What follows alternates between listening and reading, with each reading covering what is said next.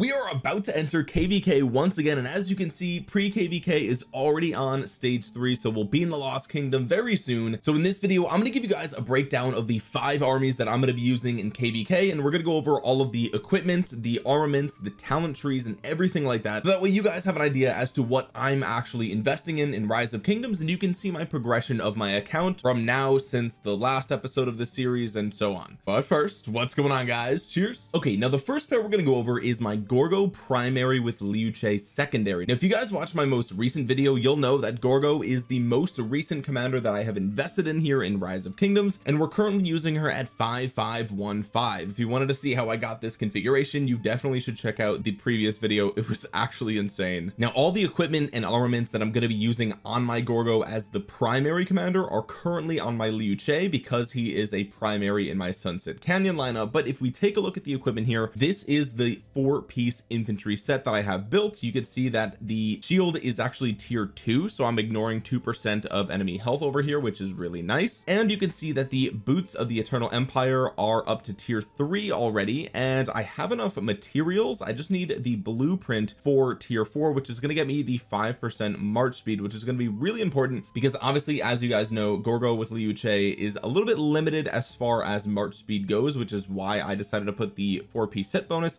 on this pairing. Then of course for accessories we have the dagger with the iconic tier one and we are currently using a silent trial with the special talent. Now this is going to be switched out for a ring of doom. I'm going to be getting a ring of doom blueprint once we enter into the kvk map because as you can see I've got enough season coins here to just buy it right off rip. I'm debating if I'm going to put the ring on the Gorgo Liu Che or if I'm going to put it somewhere else and we'll talk about that maybe in a little bit but this is sort of my second set of infantry equipment. It is much faster because of the four piece set bonus but it has slightly less stats than my other set which we'll talk about in just a moment. And then when we come in here to armaments you can see that I've actually changed to the arch formation. Now if you guys have been paying attention to my channel you do know that I was using the wedge formation on my Liu Che for last kvk and of course the wedge formation literally doesn't do anything for Liu Che because he's not dealing any skill damage but I had much better armaments for that formation and so even though the actual formation bonus itself wasn't doing anything the stats and the inscriptions were so much better that I was using that regardless. But here I have slightly better arch armaments than I did in the past. It's really nothing special but it is in a place where I feel like I can use it in the open field for PvP so we have 8.2 percent infantry attack we have 5 percent defense 4.4 percent health and we have 1.4 percent all damage which is nice. But it, bellicose as a inscription is really cool here because it says whenever you launch any type of basic attack it has a 10 percent chance to gain five percent bonus damage dealt for three seconds. That's a really nice buff here from an inscription. And also as far as I know this likely will be triggered from the expertise on Liu Che because it says any type of basic attack. So that includes from my understanding an additional basic attack as well. So I feel like this is just like a match made in heaven for Liu Che which is great. And then we have 2.5 percent extra health here on the inscription. So that brings us up to 6.9 percent infantry health. Nice. Also 69 percent you guys are not subscribed to the channel. So make sure you go ahead and click that button down there. A lot of you guys probably think you are but you're not. The next inscription here you have one percent more normal damage perfect. Smite two percent more normal damage. So in total we have three percent more normal damage plus the five percent here. So eight percent more normal damage. That's going to be beautiful for Gorgo with Liu Che. Now if you guys didn't see my most recent video then this is the talent build that I'm going to be using for my Gorgo in the open field. You can see that we grab Testudo formation because this has a higher probability of triggering with the extra basic attacks from Liu Che's expertise. So having this more often is going to be really really nice. Also we grab a loose formation to take nine percent less skill damage which is super good. We grab hold the line here as well. We get six percent of health on strong of body. We also grab all the march speed that we can over here which is really good. We had four points left over so I put them in these stats over here. Didn't really know what else to do with them really nowhere else to put them here. I didn't have enough to grab medicinal supplies so it is what it is. Moving on to my second army here. This is none other than Guan Scipio. Yes this is I mean we'll see what the next infantry release is. I know we're quite far away from the next infantry cycle but the next infantry cycle could bump Guan Yu out of my lineup. So this might be the last kvk that I'm running Guan Yu. We'll have to see what the future holds but this pairing is tried and true. It is still incredible in the open field and it's just so shocking how long Guan Yu has been you know usable and viable in the open field. It's just it's disgusting. The 2000 damage factor and the silence is just so good man. Taking a look at my other infantry set here you can see that I am rocking a two-piece set bonus. We have plus three percent troop defense here. I kind of regret this helmet because I'm probably going to be getting a kvk helmet at some point but we'll have to wait and see I guess that wouldn't really move the needle that much at this point because I get you know with the set bonus 14 percent defense so maybe it's not really worth it unless I get the talent on there. But anyway you can see we have the talent on the hope cloak and on the eternal knight down here which is really beautiful. We have iconic tier two for a lot of the stuff here actually. We have it on the hammer of sun and moon. So we're ignoring two and a half percent enemy health which is beautiful there. We also have ignoring one and a half percent enemy attack and ignoring another one and a half percent enemy health over here. So really just completely ignoring health on this uh, on this build. You can see we have the iconic tier four Shio's return which gets me the five percent march speed. Now I do have a extra blueprint for Shio's return and I do have enough materials to get it to iconic 5 but it's so expensive. I mean the amount of materials it's like 40 legendary materials just to get 5% march speed outside of alliance territory. I will do it eventually but I just feel like 40 legendary materials it's really expensive. There's other things that I really have to do first before I complete that but it will be nice especially on infantry of course we have the horn and the ring. That is the tried and true combination for accessories. Coming down here to the formation of course we have wedge formation five percent more skill damage. And then for the stats we have 8.6 percent attack 8.6 percent defense and 4.6 percent health no all damage here which is unfortunate but we have four inscriptions. Ward says whenever you use an active skill you take five percent less damage for three seconds and we deal two and a half percent more skill damage with devious which is nice. There's a lot of skill damage coming out of this pairing. We also take two and a half percent less skill damage of all types and we deal three percent more counterattack damage of all types as well. So again not the best uh, stats here in the world I wish there was more health. I wish there was more all damage but I've actually been going back and forth between these two armaments. I'm not really sure which one I think is better. Obviously there's just more stats on this one with ward uh, but this one has slightly more health at a pretty big defense cost.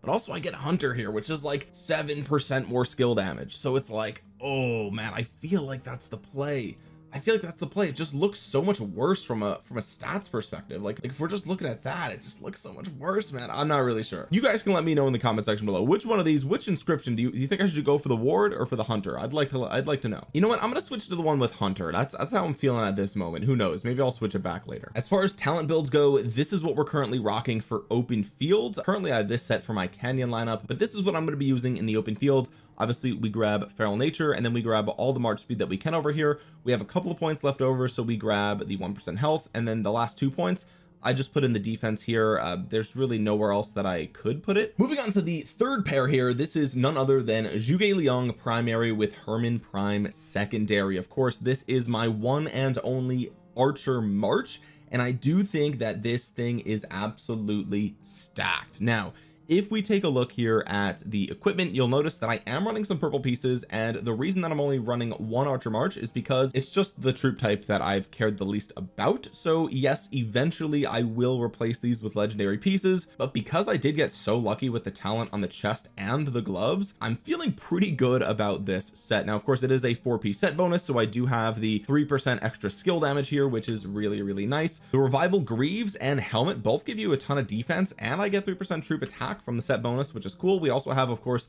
the ring and horn over here and everything that I have iconic is just iconic one. Iconic tiers are important but again archers are kind of my my last priority here even though again this army is absolutely stacked. I really think the Hermann Prime is just going to be a must have in the open field. Whether or not you have to expertise him is still up for debate. I don't think so. I think a 5551 is probably good but I've never I haven't done the testing so I can't say for sure. But I mean the AoE on this dude with Zhuge Liang is just unbelievable okay? Taking a look at the armaments here you could see that we've got a ton of archer stats. We have eight percent health 12 and a half percent defense 1.6 percent health and 3.4 percent all damage. Combo here says whenever you use an active skill you gain eight percent bonus. To all types of skill damage dealt for three seconds. So that means my Hermann Prime eight percent more skill damage. That's crazy. Respite is this respite or respite? I don't know. It says whenever this wielder's troop is hit with a basic attack it has a 10 percent chance to take 10 percent less damage for two seconds amazing buff here. And this is the wielder's troop deals two percent more damage on the map. So another two percent all damage basically which is just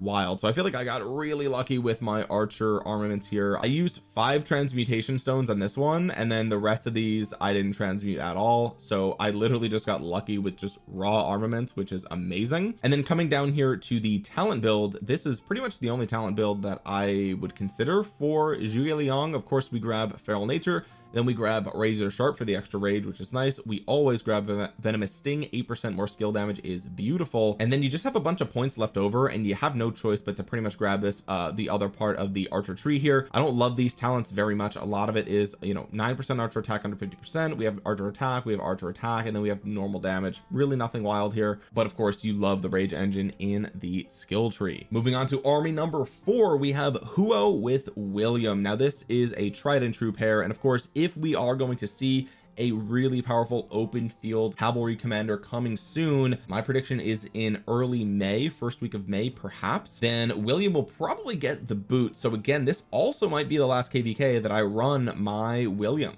it's too early to say but it's totally possible. Of course this is my second uh, cavalry set. This is my worst of the two of course. As you can see here we're still rocking the purple weapon. We still have a silent trial so a purple accessory and then really not that much in the in the way of iconic upgrades either. Of course we have an iconic upgrade for Mora's web and of course for the boots because you get health from both of these. But otherwise I still have only the two piece set bonus not the three piece set bonus yet here for uh, cavalry. And the reason that I put more Mora's web on my Huo is because I just wanted to put this on a one of my cavalry armies uh, because cavalry is you know the fast and true type. And so therefore the probability that I could inflict the slowdown is higher because I'll actually be able to keep up. Whereas if I put this Mora's web on an infantry pair it might be the case that they just don't stay connected and they can't get that debuff. So this could potentially be better on my um, Gorgo with Liu Che really just Liu Che in general. But for now I'm going to leave it on a cavalry army because I have it and why why not? Really heart of the saint is still so good. I mean I don't care what anyone says. I'm still gonna rock that for a while. Taking a look at the armaments here we can see we have 6.4 percent cav attack 3.8 percent defense 6.2 percent health which is beautiful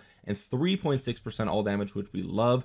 Calm says whenever you deal direct damage you have a 30 percent chance to gain 10 percent attack for three seconds. Amazing. Pulverize says when you launch a basic attack you have a 10 percent chance to gain 20 percent bonus to all types of normal damage dealt for one second okay I mean 20 percent is a lot but it's only for one basic attack so it is what it is. And this says whenever the wielder's troop takes any type of skill damage you have a 10 percent chance to reduce it by 20 percent. That's really good. It is a five second cooldown but still like that is almost like a skill. Like that's that's just really good for for an inscription. I don't know. And then as far as talent builds go this is what I'm rocking on my Huo. We grab feral nature of course. Then we grab emblazoned shield so you take 12 percent less skill damage. Then we come up here we grab undying fury for nine extra rage for every basic attack then we had three points left over and I just threw it into halberd because you're going to see a lot of archers in the open field these days and it is very important to deal as much damage to them as possible especially Zhuge Liang with Hermann Prime. And then my fifth and final march here is Nevsky with Joan and I don't foresee this changing at all unless the next cavalry release has something insane where you have to move one of these guys around but like this is basically the Guan Scipio of cavalry. Like when I look at my reports from Guan Scipio and I look at my reports from Nevsky Joan they're very comparable at least for me. The Nevsky Joan might perform slightly better but man it is it's it's so good. Taking a look at the gear on the Nevsky you can see this is my main cavalry gear. Everything here has an iconic crystal except for the weapon. I did get lucky with the talent here on the helm of the hellish wasteland which is really nice. And I was able to get the iconic 2 upgrade for the ash of the dawn. We have two percent extra cavalry health because of that which is really beautiful. And of course I can continue to upgrade this as well. But I, again I'm just saving my materials for some other things that I think take priority such as the fourth upgrade for my set infantry boots. Also I will have to do some iconic upgrades for the archer boots as well. Unfortunately as I showed you guys before uh, the Zhuge Liang Hermann is still kind of slow. And so I do want to make some nice progress here on the Dragon's Breath boots eventually. I think you know those types of things are what's going to take more priority over you know some of these other upgrades that don't really really move the needle that much. Of course we do have the ring and horn over here on the Nevsky. This is I mean you want the rage you want the damage. That is like literally what this pairing is all about. It is I mean it's been meta for so long. I think everybody knows this. The armaments here are looking pretty good as well. We have 7.8 percent attack for cavalry 7.5 percent defense and 2.8 percent health. We have another 2.3 percent march speed and 0.6 percent all damage. I wish we had more all damage on this set. You know we have it on the Huo unfortunately not on this one. We have well clad another three and a half percent defense here. So we're looking at 11 percent cav defense. War hunger says you deal 1.5 percent more normal damage and vitality gives me three and a half percent health. So in total 6.3 percent cavalry health as well. So a really nice distribution of stats here. And of course a lot of the health on this pairing is going to come from the equipment as well right? We have cav health here we have cav health here we have cav health here we have cav health here. We have cav health from the skills here on Nevsky and we also have a little bit of health on the Joan of Arc as well. So lots of cav health so I'm okay with having a little bit less of it on the uh, armaments as well even though honestly 6.3 percent is still pretty good. So since last kvk we had a couple of small upgrades in like the iconics department for some of these different um, pieces.